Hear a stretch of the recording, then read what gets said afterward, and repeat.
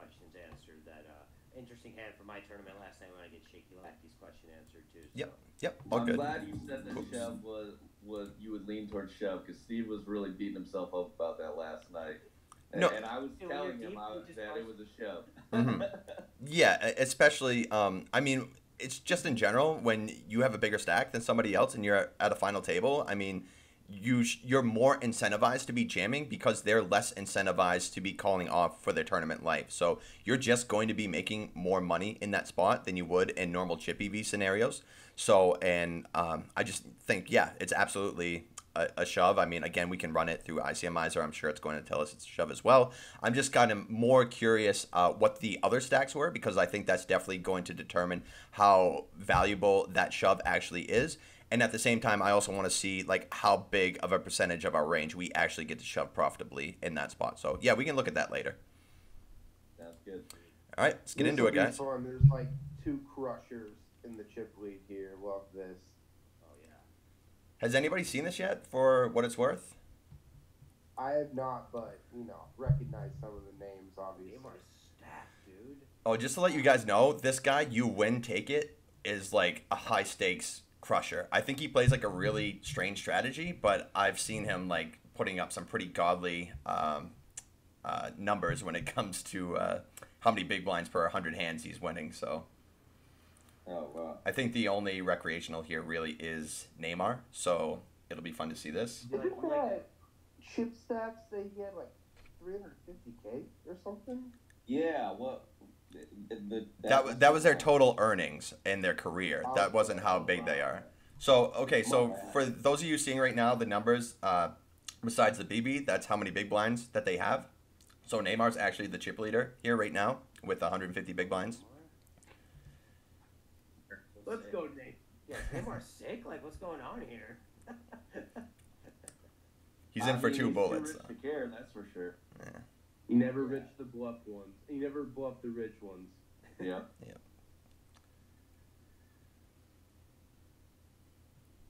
Probably gonna see a fold here, and I'd expect the small blind to have a pretty high frequency limp strategy. Wizzo Wizzo, obviously a very strong reg.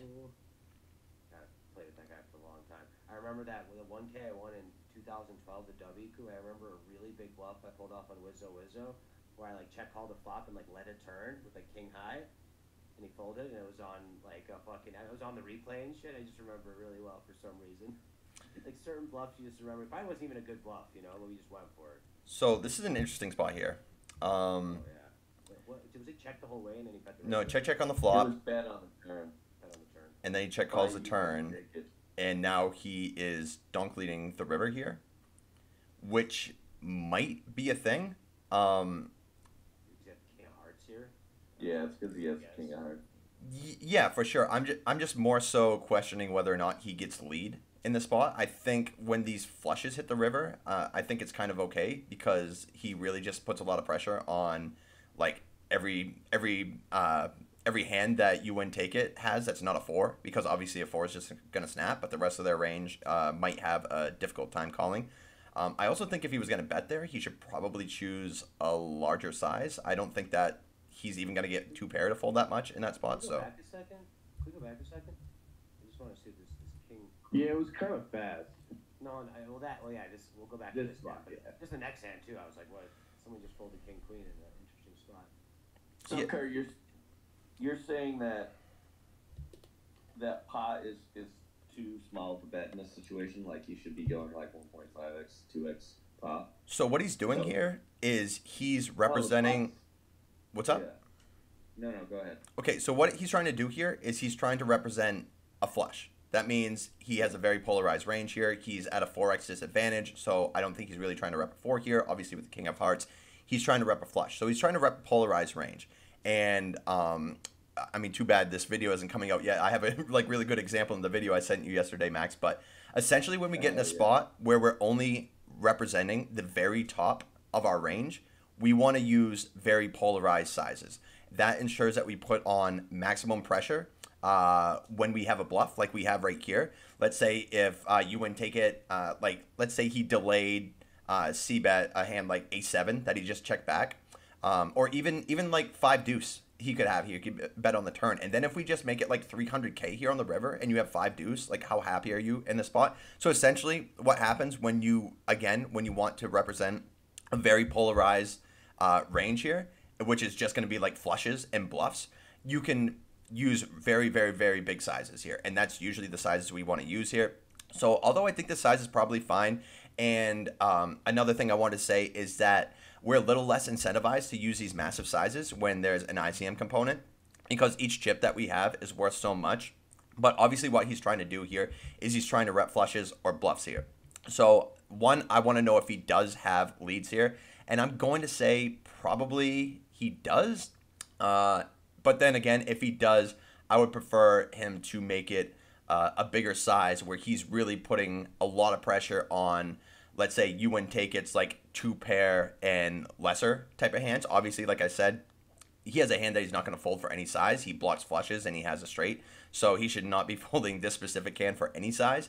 But for any other like value range that you win take it uh, might have here, you're putting a lot more pressure on him by making it a larger size. And then on the flip side, when he does decide to hero you, and you actually have a hand like King Jack of Hearts, you're uh, you're getting paid, uh, you know, a larger amount than you would be getting paid if you just bought uh, bet like three quarters to pot here, basically. So you maximize the amount of money you're going to win when you have it, and you put on max pressure uh, when you're bluffing here, essentially. So. A lot of maybe like let's say a two x, five x, three x. They could have all those cards where he doesn't hit the river here. Yeah, like I said, even two pair is going to be in a really tough spot. Like if he makes a 400k here on the river and you have five deuce here, are you happy to be calling here? Like, does five deuce call every single time? Uh, really, like honestly, a hand like like let's say ace seven with a heart would be a better call than five deuce because Wizzo is repping flushes, so you're less incentivized to call without a heart and more incentivized to call with a heart because then obviously it's it's less likely that Wizzo is going to have a flush here. So this is when you get to the point where you don't look at your actual hand strength uh, as a deciding factor of whether or not you want to call, but what hands block the uh, the hands that Wizzo is trying to represent here. So any any pair with a heart would be a better call and you win take it spot than like a two pair or trips kind of hand. You know what I mean? Right. All right, cool. Yeah, makes sense. Yeah, glad we went back to that. Actually, that that probably uh, deserved more discussion. So wh- where was the king queen that you said we breezed It was through? on the button. Uh, you and take it. That's king queen on the button. It looks like he just folds. I guess because the chip lead is opening, but it, No, he's got queen five. No, no, that you'll see the next hand. Next Okay. hand on the button. So the chip lead opens, the queen ten suited, or not chip lead, second in chips opens here, and he folds. Looks like he folds king queen on the button here. Um, yeah, it's probably a bit tight. Um, I mean, I don't hate it, but him being on the button.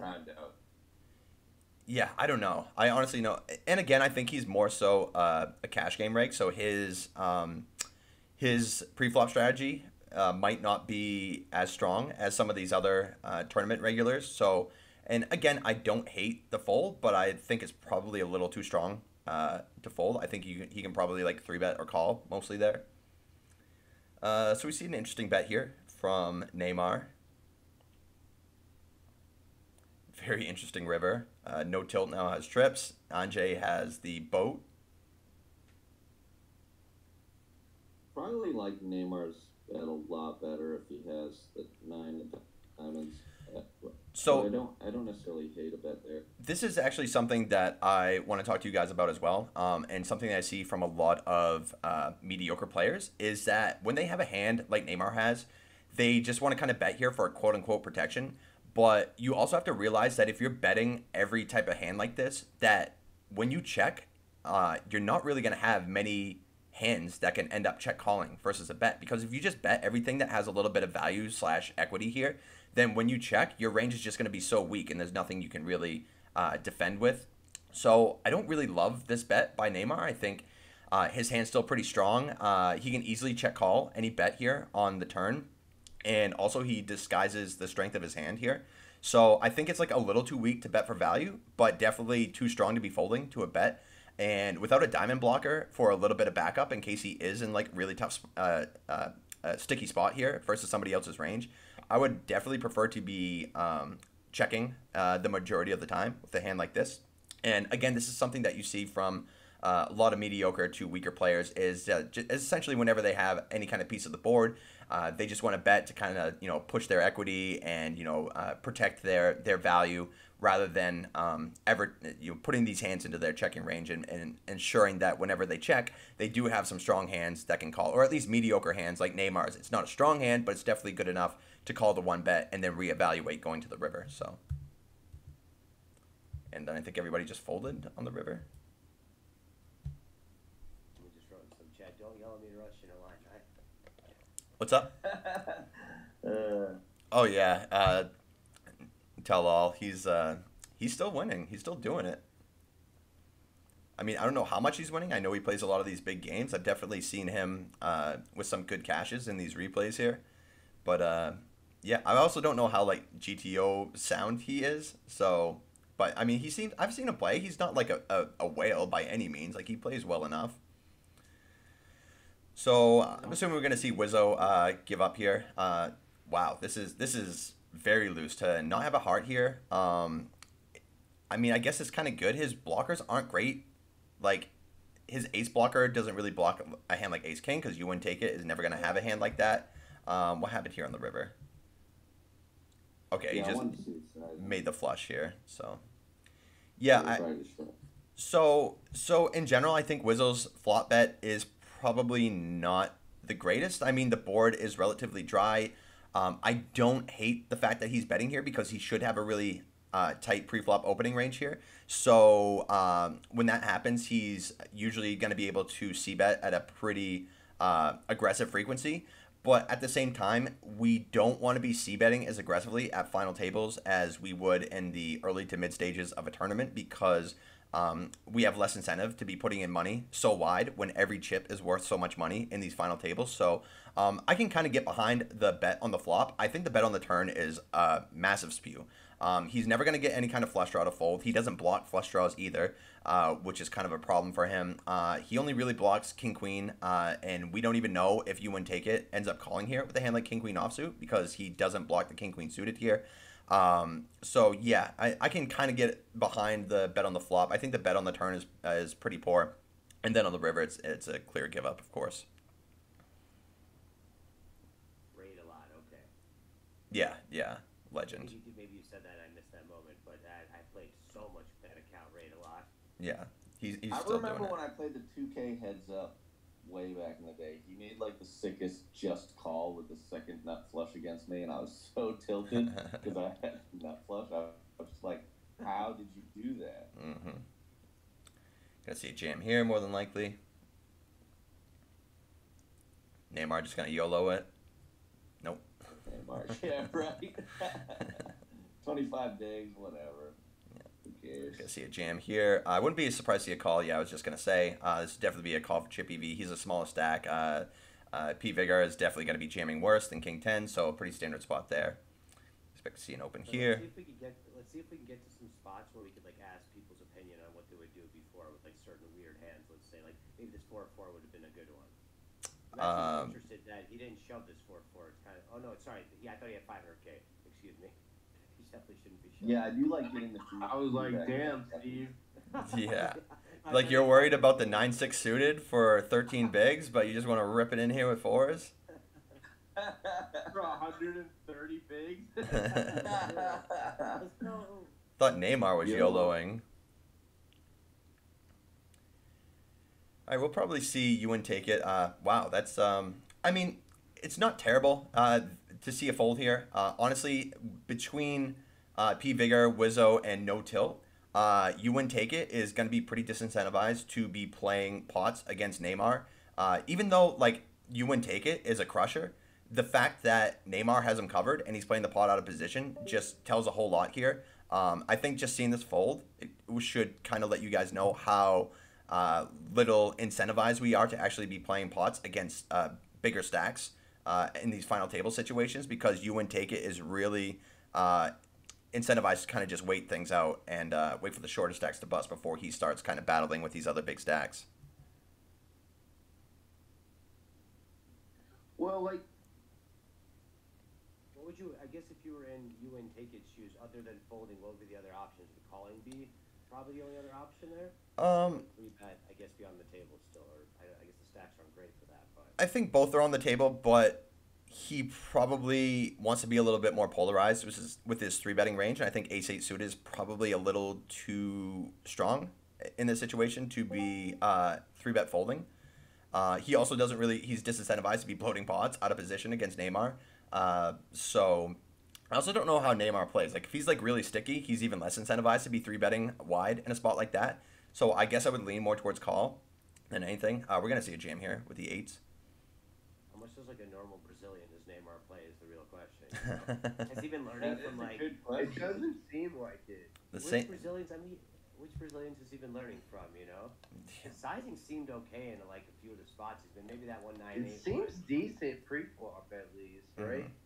Yeah, but Yeah, yeah, I mean, in all fairness, it's a very pre-flop is very um, kind of cut and dry. I would say. I'm sure he's talking with enough decent regulars here to uh, know the proper, you know, opening sizes I would here. hope so if he's blasting 10Ks online. Right. What do you think of this flat here in the small blind? I, I'm not the hugest fan of it, but This this is Vogelsang here for what it's worth. I mean, he's been crushing for a long time. Um, Mhm. it's I don't hate it. Um, obviously, Wizzo should be very tight here from EP, uh, especially with P Vigar um, at 12 bigs here. So uh, it's a bit on the loose side, but I really don't hate it uh, whatsoever. He called from the small blind. Yeah. To a probably not UTG. I'm, probably something I'm not doing enough at like this big stack against short stack stack depth. Honestly, like flat in the small blind here with like an ace seven suited. Like I feel like I probably would start with like Is ace eight that suited. is that profitable? That's Chip EV, Weird. Absolutely, yeah. For Chippy EV, it's absolutely a call here. Um, now, my question is, at a final table, do we end up calling it here? Right, And yeah, I would that's- that's probably. Yeah, yeah. and especially because Wizzo is opening such a tight range, um, that hand is going to be making less money than it would be. But um, yeah, it, it's it's kind of it's borderline. You know what I'm saying? I'm not going to say it's bad by any means. I would absolutely, you know, I'm not surprised to see him flick it in there. Uh, but I wouldn't be surprised to see him fold, and I would kind of understand why because of how tight Wizzo's range is going to be from under the gun. But yeah, for just for just for chip EV, it, it would absolutely be a V pip there. okay. I'm too tight. yeah, that's yeah, what. me too. a lot of those suited ace X's make it into the uh, either call or three bet range uh, in those yeah, I positions. would lean more towards three betting. Like if I was going to. So at 20 Yeah. big blinds, you probably don't have a lot of like three bet folds. So you're either Yeah, like three bet jamming, uh, and I think the hand's like a little too weak to be jamming, but too strong to be folding. So I think that's why you see a lot of high frequency call. And then you probably like Yeah. for your like three bet bluff range, you probably get to jam like some ace five, ace four suited, and then be calling more with like your ace seven, ace eight, ace nine suited. Yeah, that makes sense. Uh, would be surprised to see a lead here on this turn. He did snap check, and now we should see a pure bluff here. Um, yeah, uh, so well played, all in all. Uh, and this is another thing I, I want to talk about here. So obviously, a, a good board for uh, you and take its range here. Uh, the two broadways are always going to be better for the opener's range here from an earlier position than from the big blind. Um, and the check call's fine here, obviously. Uh, and so why say I wouldn't be surprised to see a lead here because we did say you UN take it bet uh, half pot here on the flop, which is a bit on the big side. I mean, it's fine. The bet size itself is fine, but it's getting to the point where it's uh, becoming a more polarized size. So the smaller we bet, the wider of a range that we can have. But when he starts betting like for bigger sizes, he's basically polarizing his range to like strong king X and really strong draws and he's not going to have like the 8-7 suiteds in his range where he's betting that size for because it doesn't really make a whole lot of sense to be betting that big uh, with that type of hand because you're not getting you know uh, many worse hands to fold out in that spot. So essentially he's saying like he has a strong draw or a strong king here and he's not going to have a lot of 8x in this range. So when uh, Wantenlos ends up check calling here uh, he should have more 8x in his range than you and take it. Now, I wouldn't expect him to pure donk lead here on the turn, but I definitely think it would be an option. I also think Wantenlos is going to have more 8x in his big blind defending range than you and take it's going to have in their opening range. So, um, although it's probably not a pure uh, donk lead, I definitely think it would get in, in in this situation. And then once it gets to the river here, uh, a lot of times clubs are not the greatest cards to be bluffing with. But a lot of these lower flushes, uh, or flush draws, are a lot better because I guess they do unblock. Like let's say you win take it has a hand like you know ace ace five of clubs, something like that. He, he gets uh, those better flush draws uh, to fold when he ends up bluffing here. Uh, then at the same time, I mean, he has nine high. There's not a whole lot he can do. He's still gonna have king x when he check calls here. He's gonna have eight x as I said. Um, but then he's also going to have like a lot of missed draws, like every straight draw, every flush draw bricks here. So I would expect Watmos to mainly be using uh, sizes that are like two thirds and bigger. Uh, again, clubs aren't the greatest combos to be bluffing here, but they absolutely need to be bluffed at some frequency. So if I'm in Watmos' shoes, I'm probably choosing to uh, like bluff around two thirds to three quarters pot size with uh, a hand like he has right now. And then let's say we have a hand like 10 9 of spades that we check call the flop with, I would probably choose an overbet, uh, like like a 1.2x, 1.5x overbet size here to really kind of polarize uh, our range here. We also unblock a lot of flushes that he's going to auto fold. Uh, we put him in a tricky spot if he has a hand like ace jack or maybe he has like ace four clubs, just, just like his hero calling range basically. And uh, then we're also going to want to go like pretty polar here with uh, an eight as well because it's very unlikely that you win take it has um, you know, anything stronger than trip eights here. So this is kind of a spot where every draw bricks, but we can also rep like a really strong range here too. So another situation where we probably want to lean towards uh, betting a more polarized size here. So yeah, with this exact combo he has with the clubs, I like his size. He bet about three quarters on the river. I think we absolutely have to bluff in that spot. So uh, well played all around. Oh, and the other point I want to make is that we do see Ewan take it, check back here with his king. I think a lot of people are just going to automatically uh, end up betting the turn here with their king because you know there's straight draws out there, there's flush draws out there. He wants to bet for protection, but if you're just piling in money with this strength of a king all the time, uh, then when you check, you're not gonna have like easy like calls once you get to the like this sort of river because you're just not gonna have any king x in your range. So all of your uh, all of your uh, range on the river is basically just going to be some sort of hero call. So this allows you and take it to have some uh, like easy calls once it comes to the river. And he also makes it harder for Wantlose to bluff because he still has strong hands in his range once he checks here. So I like to check on the turn here a lot. Generally for pot control, you would say? For pot control, and again, the eight's not great for him, so it's a little easier. But even if the turn's like for example, like the seven of spades here, I would still expect this this hand to check. I mean, it would be he'd be a little bit more incentivized to bet here, I guess, because he doesn't have to be as worried about trips as, as you know now that the eight of spades comes on the turn.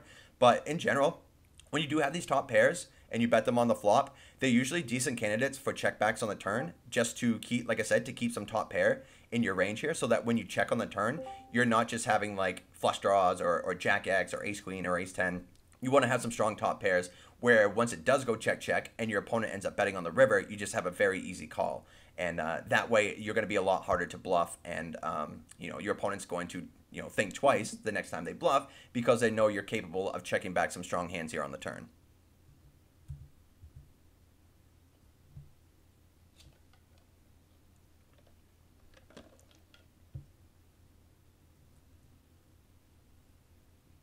It's a bit of a loose open here from Anjay, especially when he's opening into uh, Neymar's button and Vogelsang's big blind. This is actually like way too loose, I would say.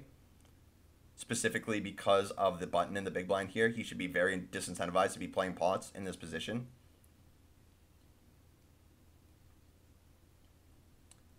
Expect to see Vogelsang to bluff this river. Yeah, and he's got a snap call here now.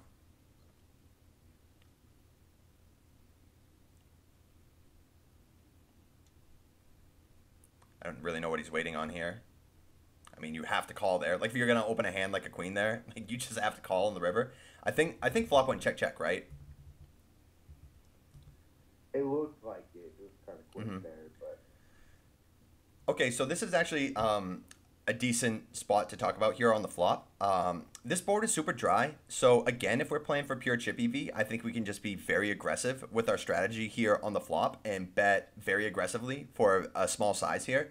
But um, once again, when ICM dynamics are at play here, and especially when Vogelsang has Anjay covered, he's going to be less incentivized to just put in money, not only with like, you know, bluffs, but also like mediocre value and you know he has essentially the worst queen he's going to have here. So I think this makes a decent check candidate here.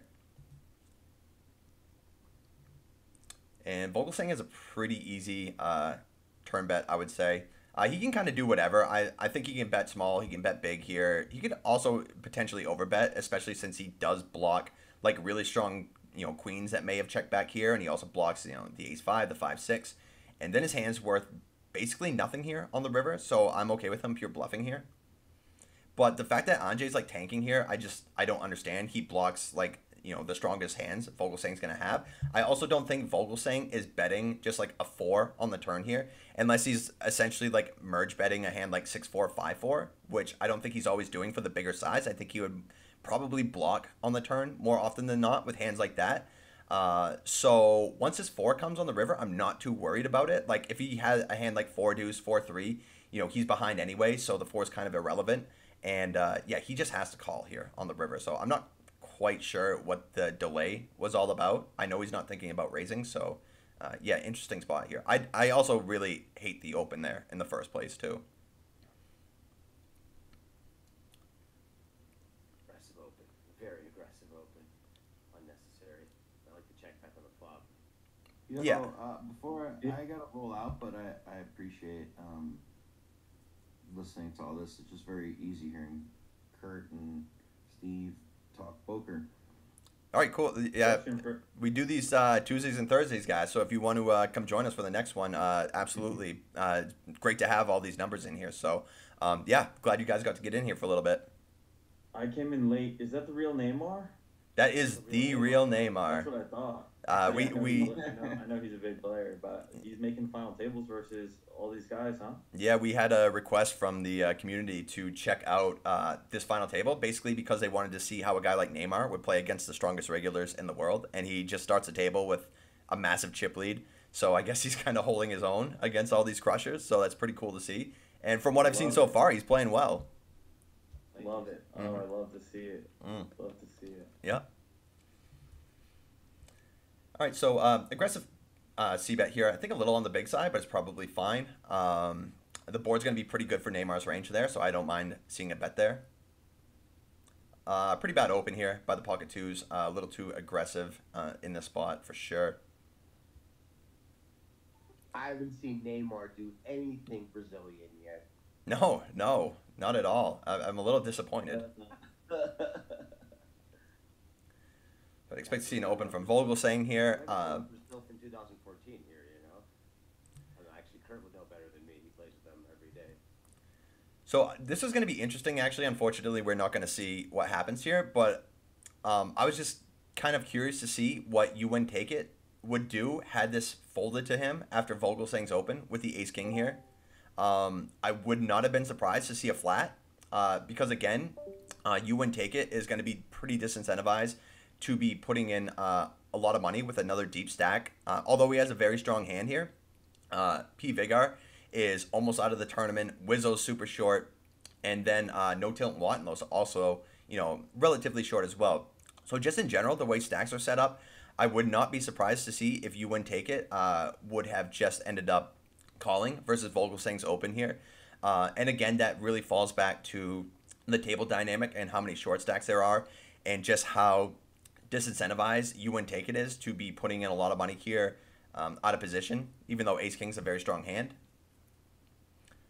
Unfortunately, we're not gonna get to see that result. Ooh, Wizzo being Wizzo. Isn't uh isn't Ace King kind of forced to call the flop though uh, on the C bet like in on every single board texture though if he does flat? Um, Like I can see why a three bet makes sense there because you're kind of putting in a similar amount of chips uh, by calling two streets as you would uh, Mhm. just like three betting big. Mm-hmm.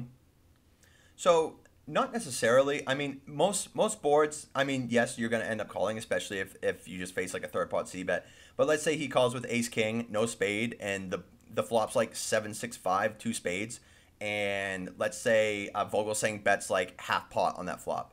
I would probably find a fold there because for one, that's a board that Vogelsang's not going to be betting his entire range on. So when he does bet, he's probably a little bit stronger than he should be. That's why you would see like a more polarized size. So I would say some boards, yeah, um, he probably does have some give ups, but for like any kind of relatively dry board, uh, where there's like a third po- uh, third pot c bet size, he probably has to peel at least one, having essentially two overs to any flop.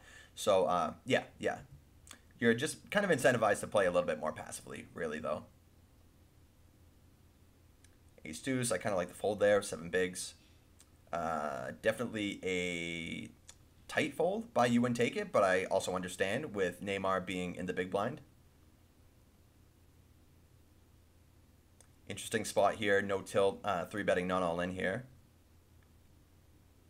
Again, these do become more of a thing here at at final tables because you're less incentivized to just be uh, three bet jamming for your entire stack because obviously when you bust, it's like you know a it's, it's a big deal where there's so many uh, massive uh, pay jumps uh, here. So although in normal chip EV terms you don't see a lot of three bet non all in uh, for 20 big blinds, but at a final table it would make a lot more sense. You see Watnos doubling up there, a very standard spot. I'm curious there on the button. What's up? The ace ten suited that he just folded on the button. I'm curious about that. Um, yeah, that's too tight. I actually didn't even notice that. He absolutely has to be calling here. Um, pretty, yeah, definitely a tight fold. I mean, again, I guess I can kind of get behind it with P Vigar uh, being so short here, and also Wizzo has him covered. So um, if like let's say no tilt had 32 bigs and Wizzo had 27, like yeah, maybe he'd be a little bit more incentivized to stick it in because if he does run into a cooler, uh, he's still going to be alive. So it's definitely on the tight side, but I can understand why he did it with P Vigor uh, being so short here.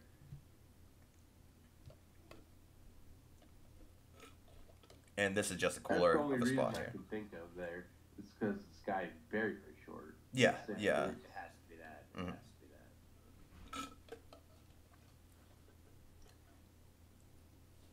Fours has to fold here. This would be way too loose. Uh, Ace Jack's gonna call. Was the three bet by Jacks there a shove? No, it was three bet, not all in. And then Wizzo And then four bet jammed. ace king shipped it? Yes. Okay, got it. Yeah, Wizzo shifted. It was like 3.2 or 3.5 three bet. Yeah. It was around uh, seven that bigs, I think. 100% standard, like final table ICM situation, like uh, to four bet chip that ace king there. Um, in Wizzo shoes here. Yeah, exactly. Like, is this basically like we're always getting it in in this situation with ace king in this kind of ICM spot?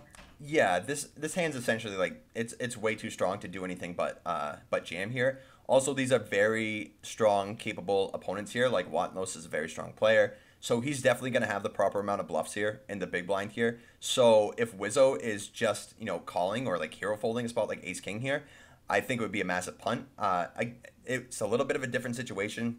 Let's say this is you know final table of the Sunday Million, you know ten thousand player field and he's playing against a guy who has like you know a thousand games played on Shark Scope and has really tight numbers and probably doesn't have much of a three bet bluffing range here, then I could maybe get behind either you know call, well maybe calling. I mean we're never folding here obviously, but against opponents who are capable of bluffing here, like Ace King is just way too strong. This is just a standard setup here where. Uh, these opponents are just going to get the money in, and there's you know kind of nothing you can do in this spot. So that's just kind of the way poker goes. Sometimes you're just going to run into these really you know cooler of spots here, and uh, there's just going to be nothing you can do about it. But can I have a question, Kurt? Sure, Does Watnos ever have bluffs there though? Absolutely, absolutely. Uh, if you're if you're strong enough, I mean, go ahead. Even though there's a guy with 342k and we see Wizzo kind of opening what under the gun plus one, Uh huh.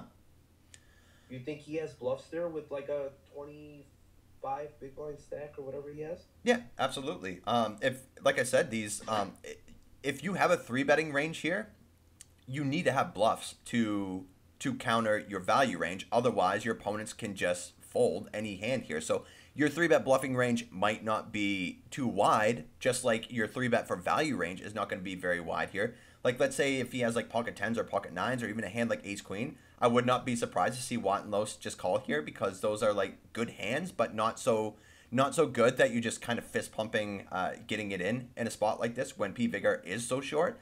but um, you are gonna have like let's say Jax is still kind of thin, honestly, with P Vigor being so short.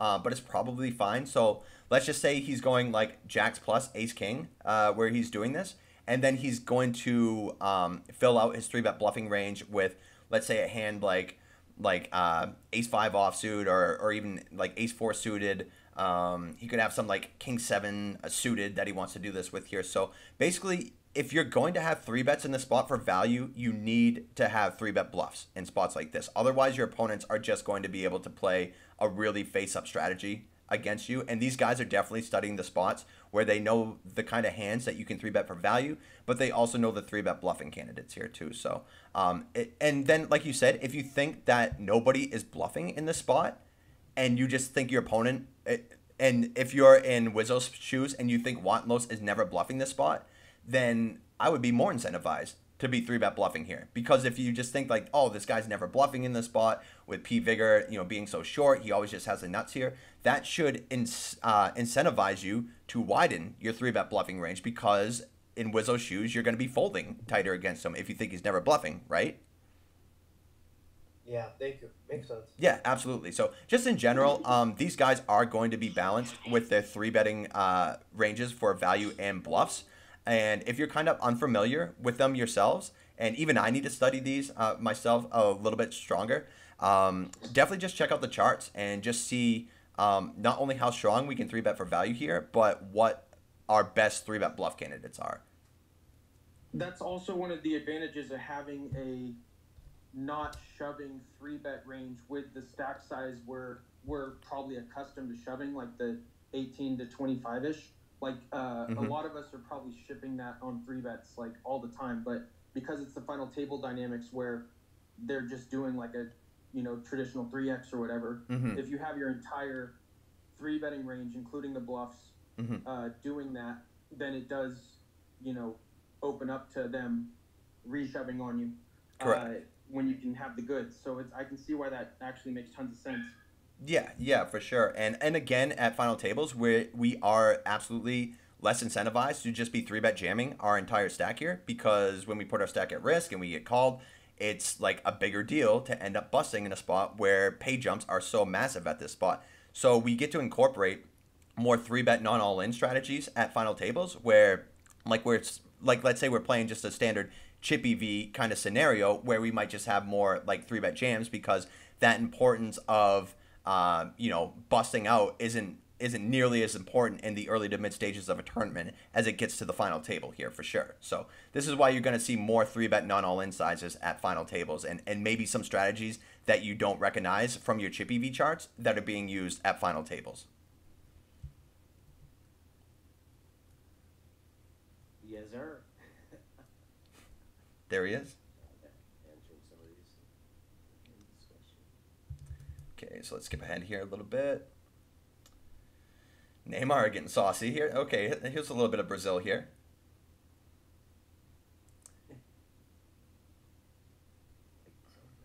You can only hide it for so long. No, no. I open a lot with his chip stack. Yeah, it's fine. I mean, it's close, but you know, I don't hate it. Like it's, yeah, like I mean, big blind's probably gonna be folding too much, a little bit too much there. hmm It folded to him too, right? Yeah, yeah, just Yeah. a lot, Nothing too crazy. Okay, so we see a C bet here by uh, by Anjay, which is probably all right. Um, this board's gonna be fairly decent for him. Um, but again, he is betting into two different opponents, so you have to be a little bit on the tighter side with your C bet frequencies as opposed to if we were just heads up here.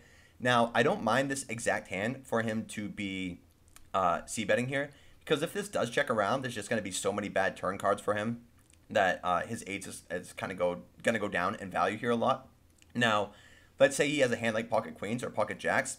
I would be a little bit more incentivized to be checking here because these hands need a little bit less protection from overcards. So I would probably be a lot more high frequency check with queens and jacks, and then maybe just bet a hand like eights and sevens, a little more high frequency here, uh, just to kind of clear out space and find out where you're at. Because if you just get folds here, I mean that's a pretty big win, and we can also bet like a really small size here. So when we get called and end up losing the pot, we're not losing a ton of money. We're risking very little to win quite a bit. So I kind of like the bet here with eights. I wouldn't hate a check either, though, for what it's worth. and then once he gets to the turn, I wouldn't be surprised to see another bet here. Um, he unblocks flush draws that are going to be calling him, which is kind of sweet uh, because he's probably not going to get a hand like uh, like a hand like ace five is never folding, ace four suited is never going to fold. Uh, he's also yeah. So and, and then if he gets check raised, he probably has the easiest fold ever. Um, I wouldn't be surprised to see you win take it. Just call twice here with a king, and then um, does the dog want to chime in? Thought the dog had something to say. DJ, DJ, just put your mic on mute. Your Don't turn dog's the probably dog charged. I, I don't know if the dog is saying he agrees with it or. so anyway, yeah. So on the turn here, I kind of like the bet. He does unblock flush draws that can potentially call here twice, and then he's just gonna pure check back the river. Uh, I think he can kind of do either or. I might check back a little bit more with the eight of spades, but uh, I don't hate the double barrel here either. Uh, he can definitely get called by worse, and then if he gets check raised, he has a pretty easy decision uh, once it gets to the river here. So I like the double barrel here. And you wouldn't take it probably has to fold without an overcard. He could also potentially be dead. He could be up against stronger flush draws. So uh, I like the fold there. Whoa, what happened here? So want those opens here. And we get the snap check on the flop. What do you guys think about that? What? Wow. What? Looks What? like a flop Steve would get. Definitely not a flop I would check. What the fuck? Yeah, for I don't sure. know. I hate that check. That's. I mean, I maybe I should let everyone else comment, but. Um, I have a Okay, so everyone's y- gonna be in agreement. So yeah, let's have this be the first one we get everybody in on. Um, what do you guys think? Okay, let's say in general. Yeah, I guess what do you guys think about the check? Would you have checks in your range here? And if so, why? Not on ignition. Not on ignition. Oh, sorry. I'll say it after. Yeah, yeah. I'm to that habit. You don't want to say it. Eflu says likes it. Very explo. Uh, that's a move. I bet small in these monotone flops. Yeah, I think if we are gonna bet, uh, the small bet is probably going to be the best one. Uh, Slammer says bet. Found and, Found and Flood says small bet. One big blind. He's definitely been on the Odin trail.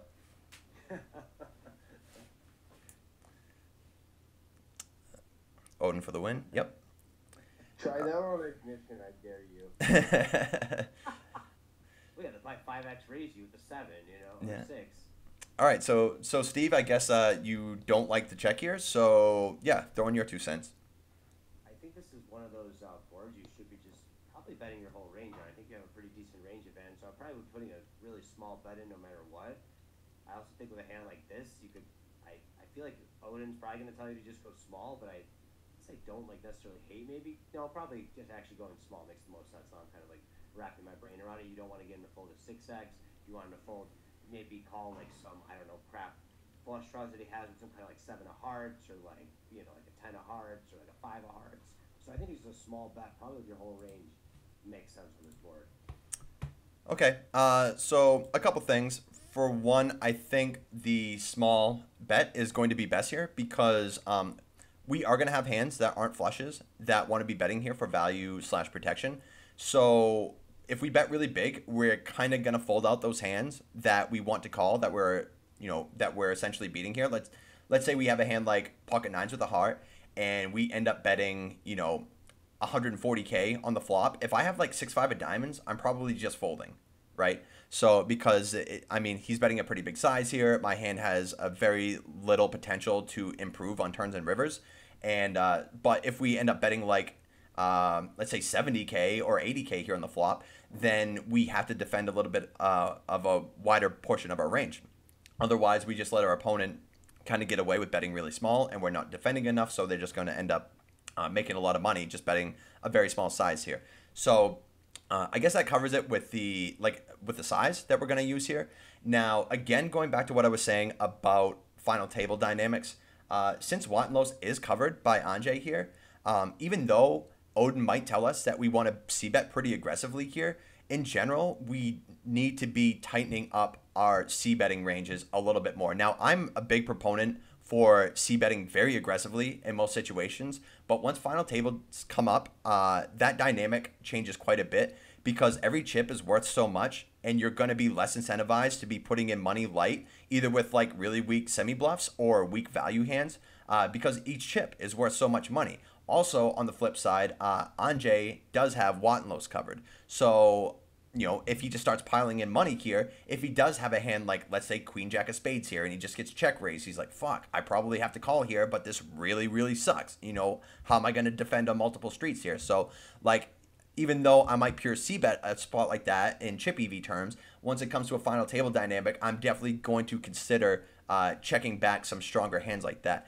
Now, with the 9 8 specifically, I'm sure he's not pure checking here but I absolutely don't hate it as an option. Again, going back to the fact that Anjay does have Wattenlos covered, even if even if Wattenlos like bets here and Anjay check raises and then just double barrel uh, or barrel barrels it off for his entire stack on like a dry runout. Let's say it's just like a deuce of a deuce of spades, seven of spades runout, and he just ends up getting it in here for 100 bigs effective with a nine high flush. Like, yeah, you probably can't fold, but I mean, are you going to be good here that often? I mean, essentially, Anjay is representing like a hand with, you know, like Ace of Hearts 4, or he just has like a King High or an Ace High flush, and you're just getting in a ton of money in a spot that really sucks when you have P Vigar being so short and no tilt also being relatively short here too. So I would say this hand absolutely is not going to be like a pure check or a pure bet here but I definitely see some um, some reasoning for him uh, checking back here. And then also at the same time, if he's capable of checking back strong hands here, then Anjay can't just blast off uh, thinking that Wattenlos never has flushes here, so he can just be very aggressive. If Wattenlos is capable of having flushes here, then that's going to prevent Anjay from being able to just exploitively go really crazy here, and then Wattenlos is just not going to have a strong enough hand to defend versus turn river aggression here. So, any of that make sense? saying. I just, yeah, I mean, so you would be probably still be betting here, I assume, most of the time with the nine high flush, like. I think the weaker the flush, the more we can check here a little bit, uh, because again, it, it's the uh, there is potential for us to just run into a cooler here. Like let's say Anjay has King four of hearts or Ace four of hearts, like that's really gonna suck. Uh, so we might see like um, we end up not winning a big pot when we just check back, but we also prevent ourselves from getting coolered and losing a massive pot in a spot with that we're probably not going to be able to hero fold with a spot like this. So I would definitely mix up my play here. I think betting is good and I think checking is good here. And I absolutely understand like in an FT dynamic that we probably this hand plays better as a mix. Uh, especially with Anjay covering. Now, if stacks were the other way around, let's say Wattenlos has 70 bigs and Anjay has 50, then maybe he C bets a little bit more aggressively because he doesn't have to worry about getting stacked by Anjay the times that he does get coolered. You know what I mean? So like a ten high flush. So let's say a ten nine of hearts. You're betting here on the flop, right? Well, let's not get too complicated with it. I mean, you can kind of just do whatever here. I think I wouldn't be surprised to see like a hand like let's say ace king of hearts or ace 10 of hearts to be checking uh to check back here because also with the ace king of hearts or the ace 10 of hearts you're blocking those hands. Like, let's say if you have Ace King of Hearts, you block the times that is going to have a hand like King Four of Hearts. So when you really get that cooler set up, um, he's not going to have hands like that because you block that. The same with if he has, uh, if Wattenlos has Ace Ten of Hearts, you block the hands like Ten Nine of Hearts, Ten Eight of Hearts that um, you could potentially stack and win a massive pot like that. So I would be a little bit more incentivized to even uh, even check back with a hand like Ace King of Hearts and Ace Ten of Hearts, and then maybe bet more so with like Ace Deuce of Hearts, Ace Four of Hearts, because then you unblock the part of uh, Anjay's possible range that actually has like you know mediocre flushes in the spot too. So. Uh, I don't think we have to get too complicated into it. I mean, that is kind of being a little nitpicky. Those are just little um, little rules that I've kind of noticed in what hands we want to kind of slow play uh, or what flushes we want to slow play and which ones we want to bet aggressively. So um, I think just in general, we want to be mixing it up here in a situation like this. Uh, and we especially have to be aware of the fact that Anjay does have us covered and that even if we do get in stacks for 50 bigs with a 9 high flush and the board just runs out really clean, we're not super happy about it. Like, we are not happy about it. There's still like 10 high, king high, ace high flushes that all have us beat uh, and if we're saying they're going to stack us every single time, then we're just, if we see bet the flop every time, then we're just going to get stacked and coolered every single time. Whereas if we end up putting some check here, uh, we kind of prevent ourselves from running into coolers. And also we disguise the strength of our hand so we can potentially get Anjay to just kind of like barrel off really aggressively. Let's say, for example, Anjay has a hand like King Nine with the King of Hearts. I would expect him to be super aggressive and to be piling in a lot of money here. So in that way, we can just call call when he's making these massive bet sizes and then win a huge pot where he has nothing. You know what I mean? So you kind of have to look at it from both perspectives, really, and not be so results oriented in the situation. So yeah, interesting spot here. Uh, if anybody else wants to throw in uh, another comment about the spot before we move on. Definitely a spot where I would say I'm betting 100% at, at, in these spots, like in game, So it's interesting to hear this. I was just writing in the chat this different perspective and thinking about it at different levels. So, because I do think I have been, with the specifically like flushes, betting just here 100% Mhm. in a what spot. Yeah, and then you're more incentivized to be playing a little bit more tricky against like really capable players. Uh, I think if you're playing against just you know random people who don't really understand how you know you can construct ranges and and uh, and aren't just really capable of bluffing like these other strong regulars are, I think maybe you're a little bit more incentivized to play more of an ABC kind of strategy against weaker weaker players. And then when you're playing against stronger players, uh, you're a little bit more incentivized to be a little bit more unpredictable. You know what I'm saying? Yeah. Makes I think DMC wanted to say something.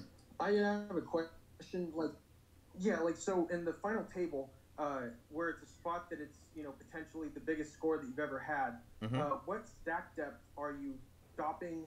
Uh, trying to set up like future spots where you're going to check back so that you have you know the top pair in your range for future spots or whatever. Like, because it seems like you have to make the decision to go for like maximum, uh, you know, value in the you know absolute hand that you're playing at some point, right? Because Mhm. like I know maybe 50 bigs, there's going to be something like an hour later that maybe you set up by you know checking a hand that you could have squeezed an extra street of value out of. Mhm. So when do you like make that choice as far as just going for maximum value on one hand versus uh, you know setting up uh, you know future uh, spots where you're going to keep them from bluffing you or whatever? So as It's it, balancing. It's actually a really good question. You know, I think it's, it's like related to balancing. Yeah, go ahead, Kurt. I No, yeah, sorry. Um, as a general rule of thumb, the deeper you are with your opponent, the more cautious you want to be playing there because then when you get coolered, it's more of a mistake when you get in all those chips.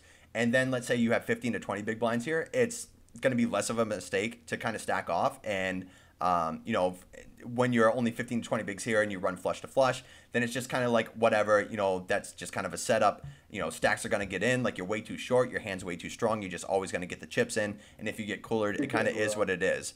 But if stacks are like 50 big blinds effective, uh, you could probably prevent some of those coolers from actually happening. And again, you're a little bit more, uh, or a little less incentivized to be like putting in a lot of money against somebody who has you covered because then the times you do get coolered, it's more painful because you're so deep stacked in a spot like this. So just in general, the deeper you are, probably the more cautious you want to be if you're going up against another big stack, especially when there are other shorter stacks uh, at the final table that have the potential to bust out, uh, you know, relatively soon. So um, yeah, it would it, stack size is definitely a big proponent to whether or not you want to start playing a little bit more passively. So uh, good question there for sure. And I, will also say on that note, I mean, so like the opponents you're playing, like we kind of talk about this a lot. I guess this is more relevant maybe in the middle of tournament, but you don't want to be going for let's say super thin value, maybe an FT in general as much, but like also against better players. Maybe if you have like if you're playing against guys who you know can't bluff in certain spots, okay, it's a little bit different of a spot. Maybe if to go for a little bit of thinner value still at an FT, you should be more careful about that. I think in general at an FT because there's every chip matters so much. So you have to be very conscious and uh, know that you have that read. But you know, it's a lot different. Let's say if you're playing a guy like, you know, I don't know, Angie or one of these, or you win take it, or if you're playing some regular guy at like a four hundred dollar tournament. Um, who's very nervous, who's never been deep in a tournament, who's never going to make like a bluff in a tough spot on you. So it's it, it does also, I think that has a little bit of influence kind of in your decisions. More in the middle of the tournament, but I think even at an FT, it definitely has an influence, obviously. Yep. Uh, uh, the caliber of player definitely comes into these factors here as well. So, um, yeah, we'll keep going. Guess we didn't see how this hand played out. Definitely has to bet for value there on the river, so pretty standard. Uh, he wasn't going to get NJ to put in any more money. Probably going to see an open on the button. Yep. I think Andre's going to bet and check here.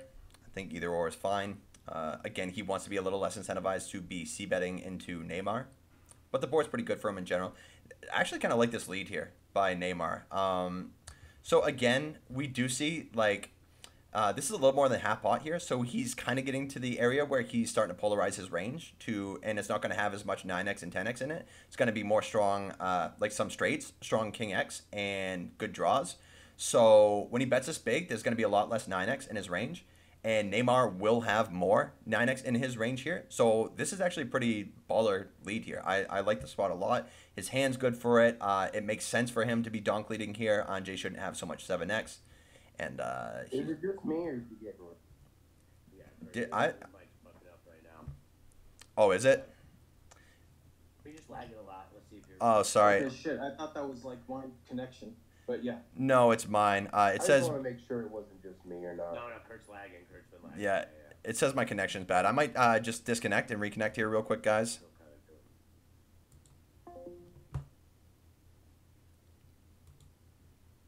doing- Okay, do have a bit of a stronger connection now, so hopefully everything's okay now. It sounds a lot better. Okay, cool. Yeah, I don't know why that just uh, lately um, I've been getting booted from these these sessions here. It. Yeah.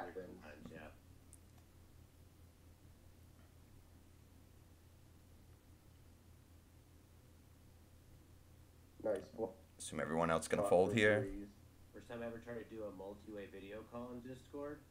First time I ever tried to do a multi-way video call on Discord. Like two people worked, three people's cameras worked, no one else worked, even though like everyone's stuff was working. So Discord definitely. I've had people who could can't even get into VC, like for work calls. It's Discord's finicky sometimes. Yeah, but it's only been like that recently for me, actually, like the last week, week and a half.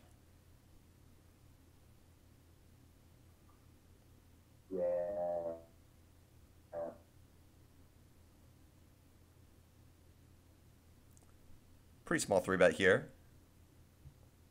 I didn't see that hand. So, yeah, can you guys see this right now? Yeah, it's saying my connection is like really poor. Hold on just a sec. I'm going to switch my internet here. Come on. Let's try this one.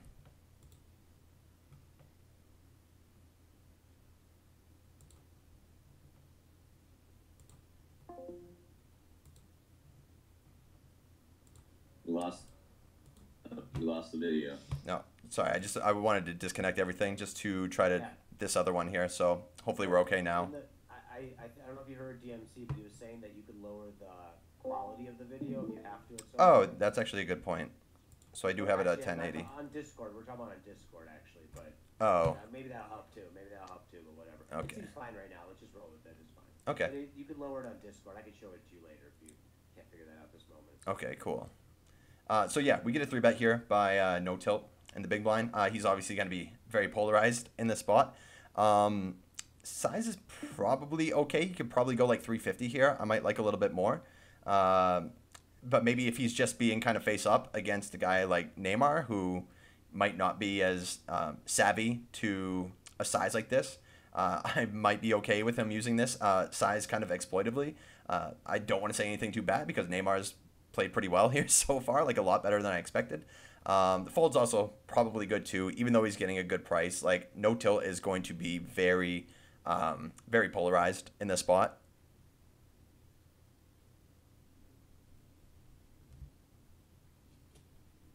Easy ISO here. I would expect no tilt to probably fold here. Oh, he does call. So I was gonna say I think Jack nine would definitely be a call here, but Jack eight's a little bit on the loose side against a guy like Neymar, who's gonna put on a fair amount of pressure. Should be checking the turn here quite a bit.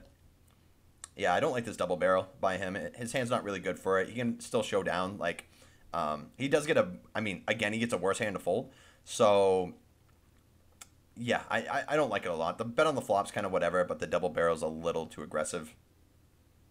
Board's also not really good for his range. It's probably a lot better for the limp callers range. So let me go back here. This looks like it got interesting. So we get a limp check here. Go check, check. Seems fine. Uh, bet by Neymar is fine. He can also check here. Uh, I like the raise by Wantlose here, obviously with the gut shot straight and the nut flush draw. Uh, I think he can call as well. I think both options are going to be fine. Uh, I think he probably wants to raise a little bit more. The weaker his ace high flush draw is, obviously ace five, one of his weaker aces here. So definitely like the raise, and he gets there on the river. What did he raise to? I actually missed that uh, turn bet. He raised four Rex versus uh, versus a min bet on the turn.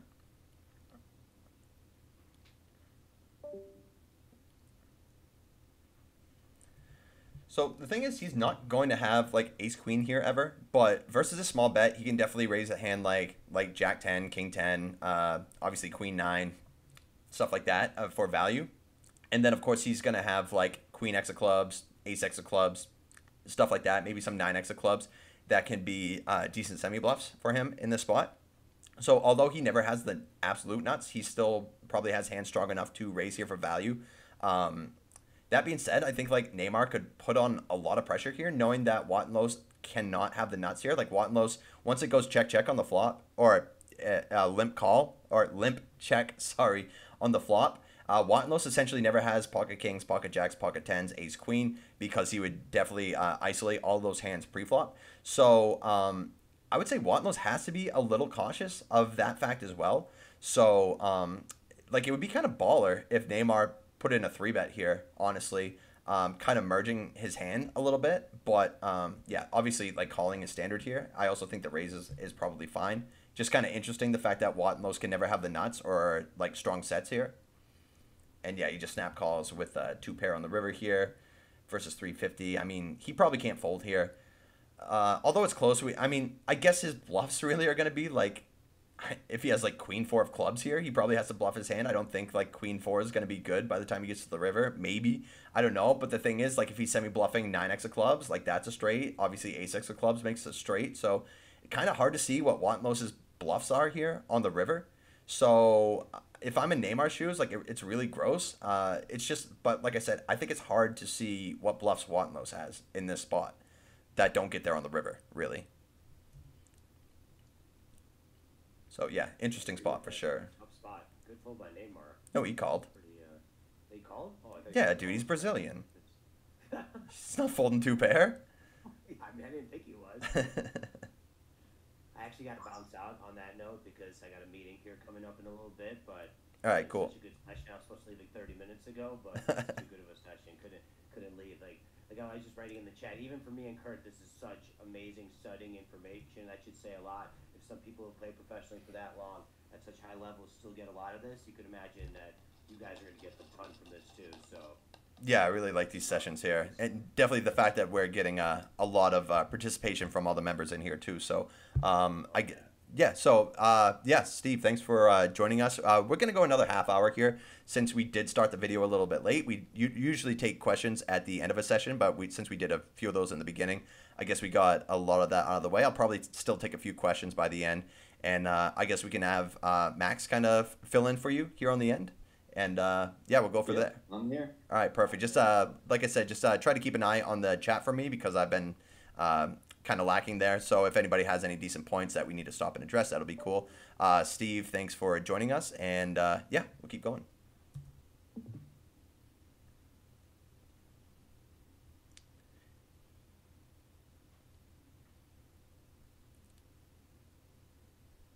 Going to be an open here from the ace eight. Uh, I would expect E3 is going to be kind of close here, I think. Yeah, so I'm not surprised to see a fold there. Usually you want to be calling like any two suited cards uh, uh, in the big blind uh, at all stack depths, but we are a little less incentivized to be calling super wide when we are at final tables. So we might, we're definitely going to be calling a little bit tighter. So not surprised to see the fold with the E3. Isn't your theory to call a little bit wider the shorter your stack is um, in the big blind? Yeah, yeah. In general, It's a good absolutely. Um, because you can because you're you end up the shorter you get, the higher percentage of a stack that you're folding out. Also, the shorter you are, the easier it's going to be to stack off with any kind of decent hand, uh, like top pair or draw. uh, where it it you know a little bit more uh, reverse implied odds uh, start to come into effect the deeper stacked you get. Uh, now that's going to get thrown out the window a little bit when ICM implications are on the table. So, um, like, yeah, you do want to still be defending relatively wide, but you're also less incentivized to be putting in money, uh, like a little on the loose side because your opponents can put a lot of pressure on you. You just in general have to be a lot tighter in these situations than you would normally be in a standard uh, chip EV uh, kind of format. Okay, I understand. Yeah. I was gonna say, wouldn't be surprised to see a better check here. I think you can probably mix. I think this king's really good for you when take it, and his hand's also worth almost nothing, so I would expect a bet here. Uh, Wantlos probably has to call. Uh, interesting river here. Uh, I was gonna say I wouldn't be surprised to see a donk lead here. Not sure how much I like the size here. He's obviously trying to represent a jack here, and I think a jack would definitely want to be betting for a bigger size here. So the lead is like kind of whatever here on the river. I mean, it might be okay. Again, I'm not super sharp with these river donk uh, lead spots here. Uh, I would just uh, assume on the river, if we're trying to represent a jack, we would want to be using a bigger size here. Yeah, I mean, there, there is something to be said for like you know value bet bluffing, but you're also literally giving that pricing them in to call Right, right. a decent bit of the portion of the time. So like, Yeah, you know, it, it's one of those things where like you are telling the story, you are representing a, a jack by betting small, but you, I mean, you're literally giving them the the odds to call. So right, right. um, you know, you probably just want to bet bigger in those spots in general, just because some people, especially in like uh, like smaller buy terms, are just gonna call anyways, just because they're like, oh, I'm getting four to one, or oh, I'm getting six to one. Right. Like I have to call. Right. So Agreed, for Can sure. you Can can you you go go back on aces hands? Yeah, I was gonna ask the same thing. This one right here. That's, that sixes fold. I'm probably floating the flop here, if I'm being honest. wow, six is just just folded here, huh? Mm-hmm. Plus the aces bet. Yeah, which is fine. I mean, this Why board. Yeah, I don't Ace need to is bet. bet. I, I hate the fold. So, I don't necessarily Wow. hate it. I mean, Anjay Quarter pot bet. Yeah. Uh, he also has to worry about the big blind too, I guess, which is kind of whatever. I mean, Vogelsang's call here is actually a little aggressive here too. Uh, but that being said, um, again, Anjay's range does have to be a little bit tighter since he is betting into two opponents. Uh, but that being said, this board is definitely better for his range than it is for everybody else's. Um, I don't hate the fold here because essentially, if he check calls a flop, he's probably going to have to fold to every single turn bet here, and he's kind of just avoiding getting himself into a sticky situation here. Like he can already be dead on the flop, as we see here. Um, he can be essentially dead to uh, like pocket sevens plus. So it might look like a like a really easy check call here, uh, and it's definitely like on the tight side. But I absolutely don't hate it because it's certainly close. Like like for chips, yeah, it, it's probably a call but uh, I don't hate him folding and not wanting to blow the pot with, um, you know, and he has another player to act as well. So I, I don't necessarily hate this fold, but I would consider it tight for sure. That makes sense. Yeah. Can you show the pre-flop action here? Like it looks like a three bet pot, right? No, no, no. It, ju- it just No, went no, open from the It was hijack. bet, and it went Uh, no call in the blind. Right, right. Yeah. And the 10 8's definitely a let, Yeah, uh, I mean, loose I peel. guess he's out of he's out of position, and there's not going to be ben- like, you know, the probability of good runouts where he feels comfortable calling like even two streets, let alone three streets. It, it does make sense to just, you know, sort of, sort of Yeah. evacuate early. There's like so many spots where he's just dead to like so many hands. Yeah. Like he's dead to pocket sevens plus. He's dead to an ace. Uh, and then if he's even betting a hand like Jack ten, like Anjay can put a lot of pressure on him where he's just essentially never able to call a double barrel either. So his hand just has very little potential to not only defend but to also improve. So for those reasons alone, I really don't hate the fold. It might look tight in general, but um, I actually now that I'm considering it, I actually really like it uh, a lot more because even like like I said, Anjay's going to be able to put on a lot of pressure, like if those calls and and uh, Vogelsang folds. He's essentially going to be able to double barrel uh, pretty aggressively, and even hands like Jack 10, 10 9, uh, King Jack are going to be able to put on a lot of pressure here too. Uh, and then he just has a hand that's never going to be able to call a double barrel. So, What if you have like tens? eh, well, tens would make a lot more sense because then Anjay could be betting a hand like uh, nines through sixes uh, for value here. So there's a lot more hands he would bet in that uh, he would be beating in this situation as opposed to like a hand like pocket sixes that like Anjay's essentially going to be betting like sevens plus for value.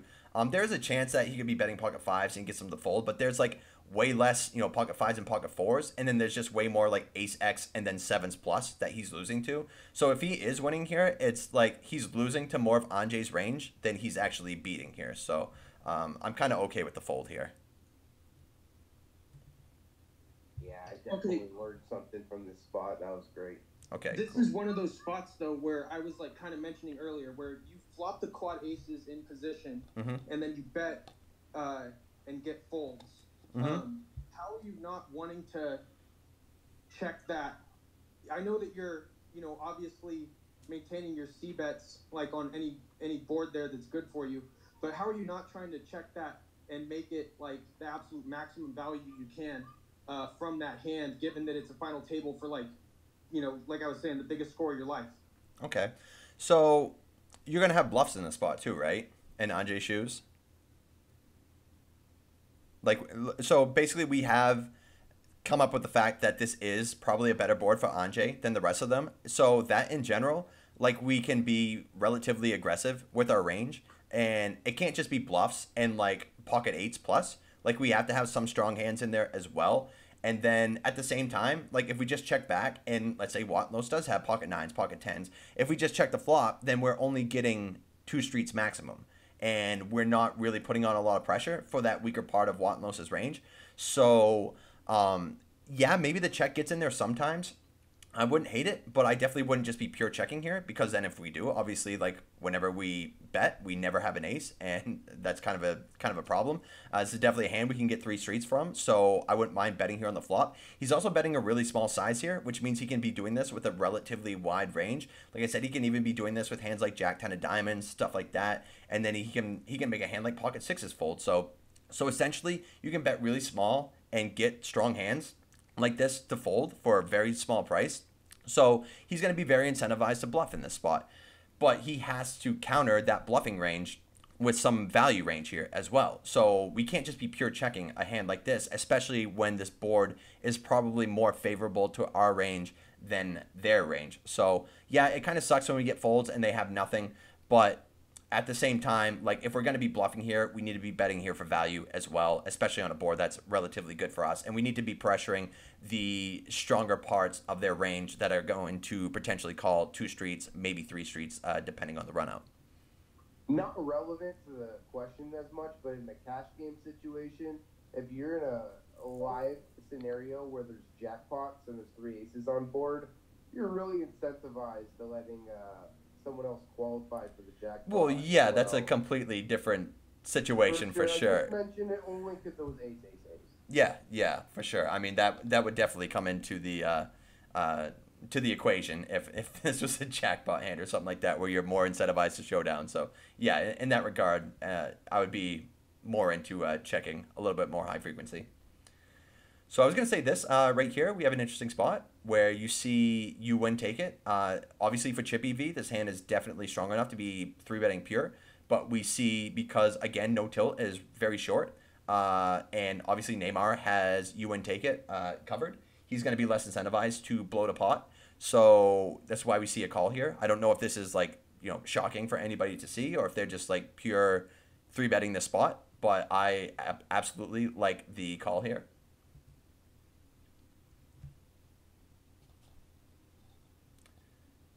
Standard C bet here from Neymar. I'd be pretty aggressive here. He can even double barrel this spot here if he wants. Don't really like the size too much, uh, but it's kind of whatever. Is it? What's up? Yeah, I mean, I understand his line, uh, but I don't think that like, yeah, I think that when he bets a little thicker like that, what do you bet? Oh, I guess it's not that big, like forty percent pot. So I mean, he's just more or less blocker betting, right? I mean, he, he's just hoping that that weaker sixes are calling. yeah, Um, I also I mean, he, go ahead, Max. no, no, no, you go ahead. Okay, so I guess this is kind of a good part that that we brought up here, and this is something you're going to see with a lot of like mediocre to weaker opponents. Um, I don't think the smaller size really gets in here. Uh, again, once we get to the turn, I mean, obviously he bets really small on the flop, so he's betting like a very wide portion of his range. If not, he's betting every single hand in his range, which he can do because he's betting so small. So he's, uh, you know, ver- risking very little uh, to win quite a bit here. Now, once he gets to the turn, he's ob- and he gets to the turn with every hand in his range. Obviously, he can't just double barrel all those hands. So once he decides to bet on the turn, he's going to be betting a more polarized type of range here. Basically, hands that are good enough to bet for value and his better uh, semi bluffs here. So when we want again, when we want to polarize our sizes here, we want to start using bigger sizes here. So this size doesn't really make sense. This is a size where he's just basically like, oh, this is how much I think my six is worth, so I'm going to bet here. So this is Neymar playing his hand more so than he should just be playing his range. Now, I absolutely think yeah, awesome slammer. Yeah, yeah, yeah. Uh, I'm glad you picked that one out here. So this is definitely a concept I want to get you guys uh, uh, more familiar with, rather than just looking at your hand and realizing like, oh, this is what I think you know this hand is worth, so I'm going to bet this size. Realize that once we get to the turn here, we normally want to start polarizing our range. If we are going to have bluffs here, I'm pretty sure we don't want to be bluffing for a small size. We want to be betting a little bit bigger here to maximize our fold equity and put on max pressure against the weaker part of you and take its range as well as when we have strong kings here. We want to be betting for a bigger size so we can build a pot to potentially win very big one when we have trips. Uh, so, yeah, this is essentially something you're going to see with a lot of amateur to mediocre kind of players. They're just going to take their hand and they're going to bet what they think their hand strength is. Now, I actually think Neymar can go pretty big here with the six here because you wouldn't take it. It's going to have some ace high flush draws that need to call. He's going to have worse 6x that need to call. Uh, he's going to have maybe like some ace three diamonds can even call a double barrel here because they do unblock uh, Neymar's bluffing range. So there's definitely hands that Neymar's going to get uh, called by, even if he bets like two thirds to three quarters here on the turn, that are worse than his a6 here. Uh, so yeah, I think he can actually bet pretty big here on the turn with his hand. And then obviously once he bets big on the turn, his hand more often than not is not going to be strong enough to bet for three streets of value. So he's just going to auto check the river. So he essentially um, puts on max pressure against you and take its range, and also like really charges um, any like weaker six x, three x flush draws that want to end up calling here. And then, of course, you wouldn't take. It's going to have a king here sometimes, and then he just checks and loses. But there's, I absolutely see enough hands that Neymar can still get called with uh, that are going to be worse than his specific hand. And then again, his hand is probably not going to be worth uh, three streets, so he probably just auto checks uh, any river here. So actually, a really good spot that we got to point out here, and something I'm going to uh, in the future once we do more of these uh, more complex uh, flop turn river uh, betting strategies here. I'm going to make sure that we uh, cover this area a little bit here because this might seem like a little. I don't know how you guys are taking this. Obviously, some of you are picking up on that. I saw Slammer nailed that one. So, uh, but this is going to be kind of a, how we teach you guys to play your range as a and the spot as opposed to just looking at the strength of your specific hand and being like, oh, I think this hand is worth you know only 40% pot here, so this is the size I'm going to bet. It doesn't really work like that. And Well, then you're check. forcing your opponent to bet the river though if you're checking uh, on the river with that sort of hand, right? And then like you're forcing yourself to also call off uh, a river bet from your opponent when they break all their flush draws. And I'm assuming the opponent like they're only are they checking a three back as well? Uh, once once we bet the turn here too. Oh, okay. I can actually see a three river, but um, yeah. Once you bet the turn with the ace 6 Mhm. uh, and your, your opponent's you know worse hands in, uh, your opponent also has to those hands more often than not on the river, don't they? Sorry, you cut out there for a. j- What do they do on the river? Are, are you are you asking if we have donk leads on the river and you win take it shoes? Like, yeah, if you're Neymar and okay, so he's actually in position. Yeah. I guess just cancel my question entirely. I, I actually didn't see the three peel off on the river there, but um, the idea was if you're if you're betting the turn there with the ace six and your opponent has worse hands that are calling, and then the river bricks, Mhm. um, isn't your opponent gonna have to turn their hand into a bluff? Um, not necessarily. I mean, on the specific three, they probably can. Um, although, th- I guess this is a good question. I don't think this particular spot, uh, you win take it has donk leads in the spot. Like, I don't think the three. Again, usually when we see donk leads coming in, uh, it's because a card is so much better for the donk leader's range than it is for the person who's betting there that they're actually allowed to have a donk leading range. Now, I don't think the three is necessarily strong enough where they can just like pure donk lead. I wouldn't think it would be terrible because Neymar is betting hands like a6, obviously. And then if he's betting a6, he's probably betting pocket sevens through pocket queens here too. So um, if the river comes a three, I'm assuming like most 6x and pocket sevens through pocket queens are going to be checking here. So when we just check all of our threes here, we probably prevent ourselves from getting another bet. So I guess I, I, I kind of take that back. I wouldn't be surprised if we do get some donk lead here on the river, but I don't think it's pure either because Neymar still has all like King X in his range too. So we can't necessarily just blindly, you know, you know, rip in another bet here when we have a three. Also, if we pure donk lead here on the river, then we prevent Neymar from bluffing with certain hands. Like if Neymar has a, a hand like, you know, 7 8 that he just decided to go off with, um, we kind of prevent him from, from bluffing in these spots. So just because you have a hand that bricks out uh, doesn't necessarily mean you just get to bluff there on the river. The card has to make sense. Uh, like it has to be a better card for your range than your opponent's to warrant a donk lead in the first place which is something I also see from a lot of opponents. They'll check call like twice with a flush draw and then just donk lead a blank river that doesn't make any sense. Like the board is still better for the in position player's range than it is for the out of positions range. And all they kind of see is like, oh, I have a busted flush draw. I have no other way of winning the pot. I have to bluff here. Again, that's not really how it works. Like the board has to make sense. The card has to be so much better for the donk leader's range than the in position player's range to warrant a bet in that spot. And again, we can cover donk leads uh, in the future as well. I'm still studying up on them quite a bit myself. So um, if you guys want to do a little bit more uh, donk leading spots, uh, we can absolutely cover that in the future. So um, yeah, I think this spot in general, you probably get some donk lead but I wouldn't say you can just donk lead every time you have a three here or every time you have a king or or a missed draw here. You know what I mean? I do. Thank you. All right, cool. All right, let's keep it going. We got about um, see what time it is here. Yeah, we'll do another ten minutes here, and then we'll cut it off and probably pick this one up on Thursday. Do a few more hands, and then I'll take again. I'll take some questions from you guys uh, once we get to the end of it here. What time are you planning to do this on Thursday? Uh, sorry to interrupt. Oh, all good. Uh, it depends. I might go an hour later. I don't know if I'm playing tennis on Thursday. Uh, more than likely, I am. So we might ended up uh, end up doing it an hour later than we normally do. I'll be sure to warn you guys. So, so it'll probably be either uh, it'll either be uh, noon e- uh, Eastern time or one Or- p.m. Eastern time, right? Correct, correct. Our normal time has been 12, uh, 12 Eastern time. Uh, and then, like I said, if we do adjust it, I'll be able, I'll be sure to let you guys know at least a day ahead of time.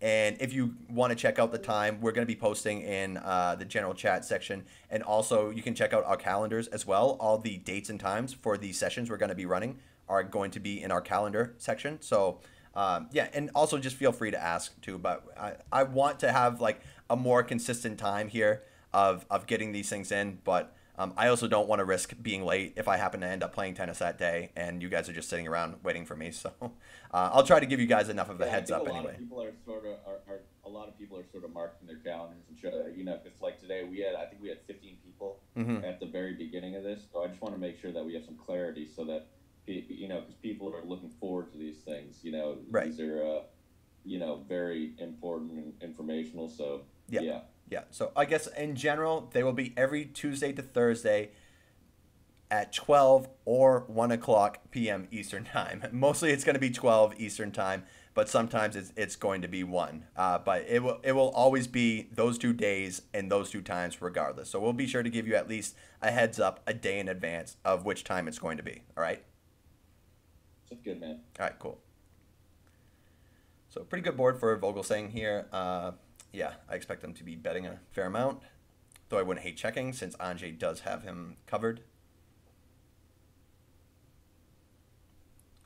So it looks like Watnos opened here. Uh, I to, yeah, uh, I think the lower pairs kind of like betting here a little bit more because they require more protection. Also, kind of benefit from just getting a, an automatic fold. This be. I was gonna say this would be a really good uh, three bet jam spot. I think these suited broadways are really good for it. Also, Vogelsang should be opening relatively wide. I mean, they're all pretty deep stacked, and uh, no tilt is really like he's less incentivized to be like opening preflop light and just be ripping it into people who are opening like relatively wide. I also think this hand is just good enough to be jamming here. So, I- and I also think Vogelsang is probably going to call it off here with sixes. I think like fives probably gets close. Sevens is a pretty easy call. So, uh, good jam by no tilt there for sure.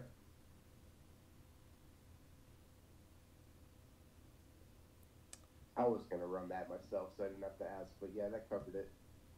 About uh, about which spot? The sixes. I, I wasn't sure if I was supposed to call off with sixes there or not. It's close, and then of course, like uh, chip EV wise, it's it's going to be an easy call. But then once the uh, we have ICM factors uh, in front of us, then um, obviously it's going to be we're going to need stronger hands to be calling with there. So I think he can pretty much call like this is kind of as close to chip EV as it's going to get here because no tilt is like by far the shortest stack here. And even if Vogelsang calls and loses here, he's still going to have 45 bigs. So it's not like he's crippled by calling here and losing. So also when he calls here and wins, he gets a pay jump here. So I think this is kind of as close to like a chip EV call as you're going to find at a final table. Uh, so yeah, I think that in this specific spot, he can play pretty close to uh, a chip EV calling uh, decision, which is kind of uh, something you don't see very often at final tables, but this spot kind of makes sense for it.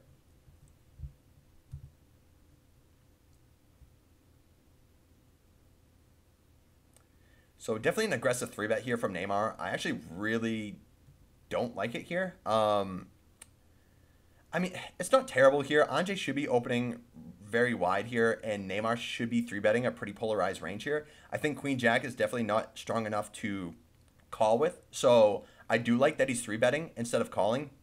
But that being said, folding might be slightly better than three betting. It's kind of okay though. I, I mean, I don't hate it. Um, like like I said, Anjay is going to be opening relatively wide, so he's just going to be getting a lot of auto folds. He's still in position, so that's kind of good. Um, he just kind of picks a, a bad time for it. And he absolutely has to fold here now. Yeah. It's the very bottom of his three betting uh, range in the first any place. merit at all to flatting in position with really strong hand there?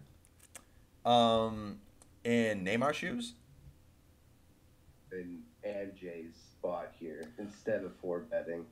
Um, so I don't think king. Okay, so at least from chip EV uh, charts, I don't think kings here ever flats. Um, I think aces uh, becomes a little bit more likely to uh, be flatting here, mainly because you're blocking a big part of Neymar's uh, three bet bluffing range, like with the ace ten offs, the ace four suited, stuff like that.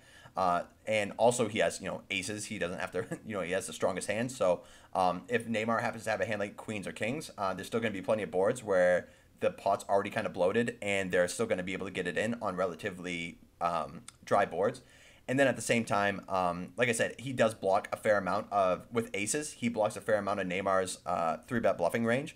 So the fact that he has two aces makes it less likely that uh, Neymar has uh, a hand that he's three bet bluffing. So I wouldn't hate if he ended up fast playing aces in that spot. But I think you can kind of mix with aces a little bit here. Uh, the, the deeper they are, the more incentivized you are to put in a little bit more money at 60, like 70 bigs here.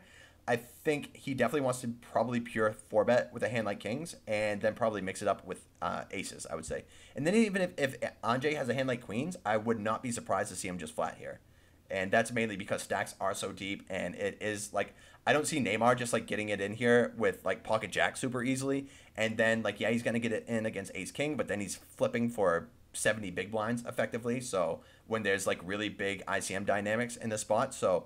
Um, yeah, good question there. I think for sure he probably gets some flat with aces uh, because it's so strong, and he and um, probably gets to do some calling with queens as well because there's not going to be so many hands that he just gets it in in a dominated situation for 70 big blinds with all of these uh, uh, ICM implications at hand here.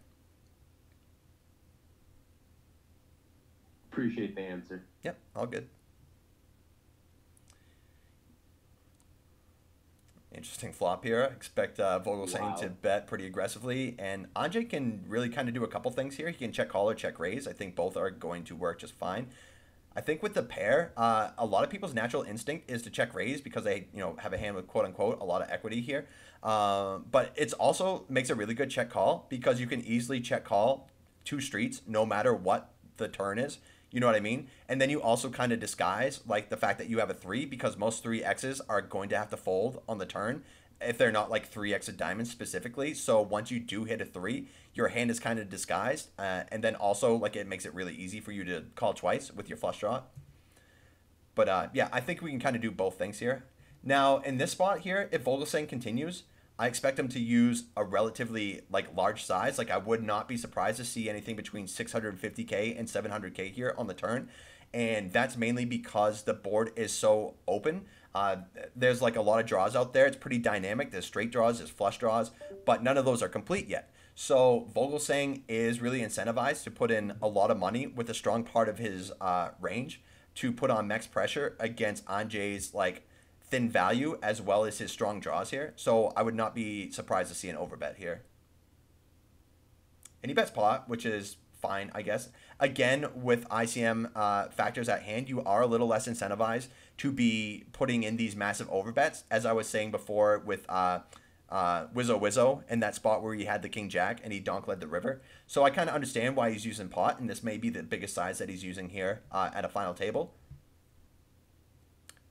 And this is kind of thin here on the river. I think, like, Anjay's still going to have hands like ace 10, ace jack that are going to be in a really tough spot. He's going to have ace 7, ace 6, ace 5, ace 4, all these hands that he's beating. He's also going to have a lot of hands like 9x of diamonds here, 3x of diamonds. So um, it's basically does he expect to get called by worse hands here? And essentially, the stronger players these these guys are, uh, I think they do find these really thin value bets. I think that's what really makes them very strong players. So uh, it's going to be kind of interesting to see what Vogelsang does here. Uh, I also would hate a check because you are a little less incentivized to go for those thin value hands. Because for one, uh, your opponent should be a little bit on the tight side with ICM implications, and for two, you're a little less incentivized to go for uh, three streets of value with a you know what might be a thin value hand. Because when you're when you bet three streets and you're wrong, uh, it's kind of a you know, it really sucks here to lose those chips. Um, you know, with with these ICM dynamics here. So he does go for some thin value. I actually kind of like it here. I think if he has a hand like ace 10, maybe he might end up finding a check back. And wow, he heroes him with a three. So, um, and that just goes to show that Anjay knows Vogelsang is capable of being really aggressive on a board that's pretty good for him. And so uh, when you have an opponent who's capable of calling you down pretty thinly in the spot here, uh, I guess it incentivizes Vogelsang to go for some thin value here as well. So this these are dynamics that you see with like really strong players here quite often. Like you're going to be you have to make these hero calls uh, with a, a hand like Anjay's quite a bit here because you're going to have opponents who are capable of of bluffing in this spot where maybe like you know less capable players are just going to be way more uh, on the side of value than the side of bluffs here. So uh, definitely an interesting call down. I don't hate it because uh, a lot of like diamond combos, uh, Vogelsang's probably going to be giving up here with on the river, and obviously he blocks diamonds here, and he also blocks hands like you know ace three, pocket threes as well. So I really don't hate, uh, in theory, the call here. I mean, in in terms of his actual hand strength, it doesn't look great. But in terms of blockers and just understanding the spot in general, I don't really hate uh, this hero call here. So uh, yeah, this is probably a good spot to wrap it up here. We're at about an hour and a half of recording here now, so um, I'll just uh, bring it here, and then on Thursday we can kick it off from here. So uh, yeah, I guess we can uh, take some questions from you guys. Uh, this was definitely a fun final table here so far. Impressed with Neymar's play for the most part. Uh, yeah, so we'll take some questions if you guys have any. And, uh, just to uh, chime in, uh, Kurt uh, did an instructional video. What was it? It was like how you study. And Yeah, so And, yeah, uh, go go ahead. Yeah, just explain what the video is. Yeah, so it's a video I've been meaning to do here for a while. Um, it's basically I'm just recording myself, showing you guys uh, what it looks like when I actually end up studying between using ICMizer, between studying my charts, and then doing a little bit of work with Odin. Now, I'm not going through as many hands because I'm trying to explain things out as we go, but I just kind of want to give you guys a look into what it looks like when I'm like off the tables and I'm doing some study work. So if you're looking to get in, getting into studying yourself, uh, hopefully this will give you like a solid baseline of uh, not only like what programs do I use, but how to uh, efficiently use those as well. So Max should be posting that video here pretty soon. So if you guys want to check that out and uh, any comments you guys want to leave to that as well, I'd be happy to answer. That should be posted here uh, relatively soon.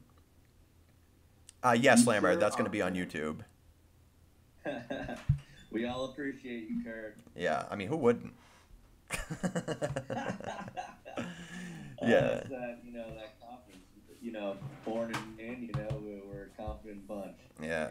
I mean, Main you men. only have to be cooler than like a 87 other people, so it's not that hard. Yeah, it's not that much.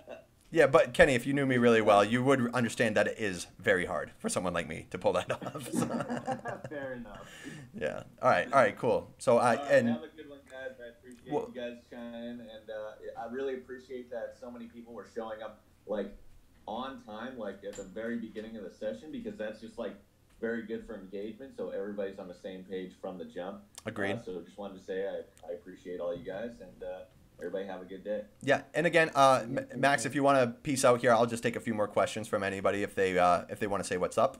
But uh, yeah, thanks again, Max, for joining us here. Yeah, I gotta go coach the kids. All right, I'll catch all you right, later. Coach. Catch you on Thursday, bud. See ya. I did have a small request for maybe some future content.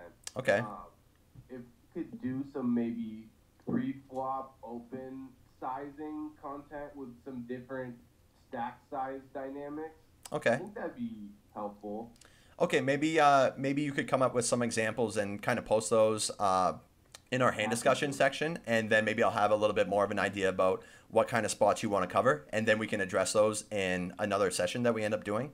So that would be cool. Love that. Thanks, bro. All right. Anytime. Uh, anybody else have any questions? Okay, can you go back to that river bet by Vogelsang the hand before? Yep. Um, so is he betting an amount that's also kind of polarized, where there's incentive for the three five to call because it's either aces or bluffs? Like that seems like uh, that nine hundred seems kind of largish to me. Is that is that just a standard bet you'd make with like nine here for thin value as well? So, oh, what was that last part you said again, real quick? Sorry. like uh are we expecting Vogelsang to bet like tens jacks uh nines here No, no, no. Uh, like so. 900 No, I, I would say that's too thin there. So essentially, once we get to the river, um, we only want to be betting the best hands because essentially what we're saying is we have a hand that's strong enough to bet for value, or we have a hand that's good enough to bluff, uh, basically. And when it gets to betting uh, a more polarized kind of range, we want to be using a more polarized kind of size. Now, anything that's like two thirds pot plus, I would say could be in the more polarized range here, but since uh, this is a little different than the flush spot that we were talking about earlier, because in that flush spot we had uh, Wizzo Wizzo only representing flushes, which is only the absolute top of his range, and then the rest of it is just going to be good flush blockers. So in that regard, that's why I was saying we want to see like two X pot or or nothing. So he only has that very large bluff size in that spot. But in a spot like this, uh, Vogelsang doesn't necessarily need to have like trips or better to get three streets of value. So essentially, what you want to ask yourself is, are there going to be worse hands that are going to call me here? And I think the answer is yes, there are going to be worse hands than Ace Queen that are going to call here. Like I said, Anjay is definitely going to have Ace Jack, Ace 10, Ace 7, Ace 6, Ace- Ace 5, and then he's going to have some uh, hero calling hands like 9x of diamonds, 3x of diamonds. And um, if Anjay's not like defending appropriately, then Vogelsang can just really kind of overbluff here and know his opponent's not going to be calling appropriately. So uh, mainly the two things we want to ask ourselves are: Are our, opponents capable of calling uh, wide enough? Are they capable of calling worse hands than us? So um, yeah, essentially at the river, we don't really see these like third pot bets here. I think this is also something that we see from a lot of amateur kind of players. Is they're like, okay, this this hand seems really thin, so I want to bet a small size to get hero called by like a weaker hand. I don't really think that's the way you want to think about it. Honestly, if I saw Vogelsang bet like 300k here and I have five three of diamonds, I'm just gonna snap fold. Uh, and then essentially, what the other thing you want to ask yourself is, do you ever bluff for like 300 or 400k here on the river? Exactly. No, that was kind of my point. That uh, Anjay makes the call because it's basically an X, uh, an ace or a bluff by Vogelsang. Is that like the line that he's probably thinking here with that uh, river bet? I can see how a smaller one is a snap fold, but then if you're gonna hero, he sized it to where it does have you know kind of a polarized uh, uh, bet range in in from what I'm seeing. Like I can see why the three five calls the 900 and possibly folds the 550. Yeah, yeah. So, and I would say this is pretty close to the bottom of Vogelsang's uh, value range here too. But he's not he's not saying like, okay, this is the bottom of my value range, so I'm gonna bet a smaller size to get worse hands to call. What he's saying is, yes, I think there are worse hands to call, and I'm going to still bet the same size as if I had a hand like Ace King here, or maybe even a hand like Ace Deuce would still bet the same size. So essentially, we need to be using more polarized sizes on the river. When we do bet, it's very rare that we use sizes that are going to be smaller than two thirds pot here. And this is also something, like I said, is kind of easy for us to spot against weaker players because essentially rather than just realizing like, oh, I'm on the river, there are going to be hands that are worse than mine that are going to call. They don't look at it like that. They're like, okay, this hand's really thin, so I'm going to bet a really small size in order to get called here. And like I said, essentially that tells me that it's easier for me to fold because I know if they bet a size like this, they're betting for thin value and they never have bluffs in these spots. So I'm actually more incentivized to call Vogelsang if he bets a, a size like 900k as opposed to him betting a size like 300k because I know he has bluffs in his range when he bets this big and when he bets small, he never has bluffs. Okay, great. That that was exactly my train of thought on that. So I'm glad you clarified. Thank you. Okay, cool. Anytime. Uh, anybody else while we're in here? Let me catch up with the chat here real quick. Um, please start recording the sessions now. Yeah, I, I do have the recession recorded today, so we'll make sure that we get this one posted as well. That's another reason I wanted to do that video I was talking about with Max because we did forget to record the session that we had with Pete the other day. So I wanted to make up for that by recording uh, some other content for you guys so you can dig into that as well. Yeah, any other questions before we uh, peace out of here? See Slammer in there?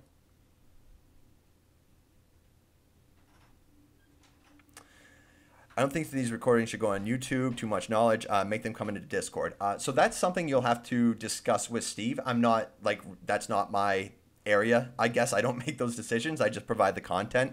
Uh, you probably are onto something like that. And then once the the mint happens, I think this kind of information is going to go more towards um, you know our members here uh, more than anything. So you're probably right in that regard as well. Uh, again, definitely take that up with Steve. I think that's a, a valid uh, statement there anyway. So um, we'll absolutely look into that, and Steve should probably be able to provide uh, provide uh, you know some more information in terms of that. But that's that's not my field, I guess. yeah, anytime that's a move.